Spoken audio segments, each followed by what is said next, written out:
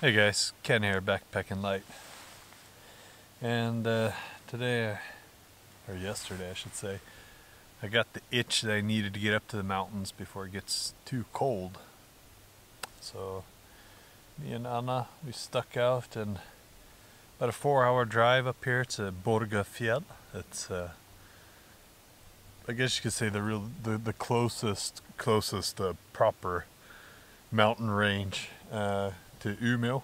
It's about a four hour drive, just lovely. So about some of the equipment I've got here. Um, I have the Sea to Summit Spark 3.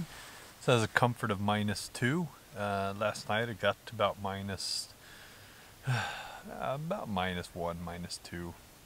Very warm, can't complain.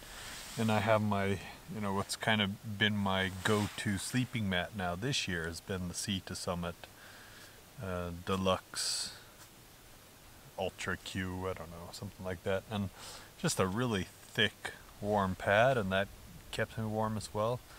I really like how thick and comfortable it is. By far the most comfortable sleeping mat i know of at the moment. Uh, that's still relatively light. Uh, i have the Nordisk telemark 1 which is actually a, a pretty good and roomy one man tent. I think it's about 800 grams, 850 grams. And it works for me and my little doggy. Now, what I would say about it is that this time of the year, especially right after rainfall, where it's really wet on the ground, and last night was just incredible how it wasn't any wind, zero wind. Uh, so the condensation on any tent's going to be a really, really bad. And it was on this one too. And because it's a little smaller, you know, you, you can just see the rain or the condensation on it. And that's not the most comfortable feeling, but in most times, most conditions, I think the Telemark's a great one-man tent. And I'm not really complaining because I know any tent would have had that problem. But if I had something like uh, the Sautic Gear Mid with me that's a lot bigger, uh, I wouldn't think about the condensation. It would just kind of be gone. Osprey Levity, fantastic backpack. Uh, I do like it for lighter weights. Well, I mean, those are the main main items, but I do have to put out an extra shout out for the Spark 3 because it's such a, a high quality, light, warm sleeping bag. For somebody like me, it's big. I really appreciate that it's a big sleeping bag as well.